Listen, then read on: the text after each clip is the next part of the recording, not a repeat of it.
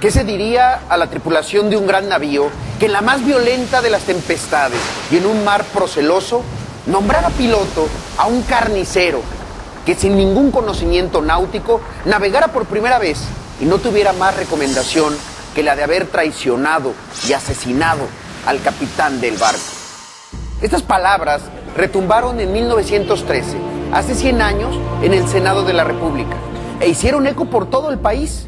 Fueron también las palabras que condenaron a muerte a uno de los hombres más ilustres, más íntegros que ha tenido Chiapas y México, don Belisario Domínguez Palencia. El 7 de octubre de 1913, a las 11.30 de la noche, agentes de la Policía Reservada, que era un cuerpo de la dictadura de Victoriano Huerta, cuya especialidad era perseguir y eliminar a los enemigos del gobierno, detuvieron al senador Belisario Domínguez. Los sicarios llegaron al Hotel Jardín, pero se equivocaron de puerta. Entonces, don Belisario se percató y salió de su habitación para decirles, señores, es a mí a quien buscan.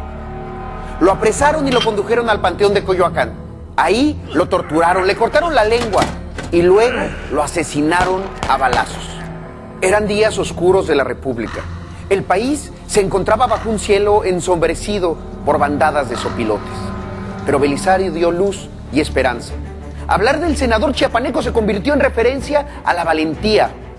Su legado tiene que ver con levantar la voz cuando el silencio se generaliza, con recuperar dignidades perdidas y defender a las instituciones cuando éstas están en riesgo.